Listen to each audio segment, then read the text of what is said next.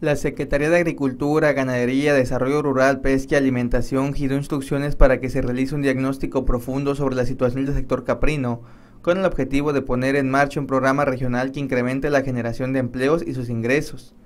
Así lo aseguró el coordinador general de ganadería, Francisco Gurrial Treviño, quien encabezó la segunda reunión regional de caprinocultura llevada a cabo en Nuevo León. En este caso, agregó que los gobiernos y productores de siete estados del noroeste del país respondieron a la iniciativa para realizar el dictamen sobre la situación del sector caprino en esa región.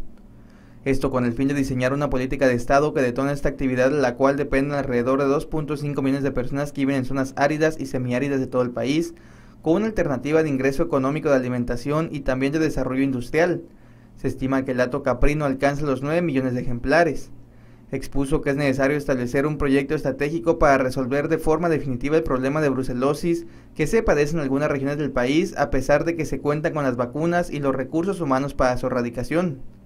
Explicó que esa es una actividad que cada día cobra mayor relevancia por su valor en cuanto a producción y como ejemplo el caso de la ciudad de Monterrey, donde se consumen aproximadamente un millón de cabritos al año y solo producen el 10%,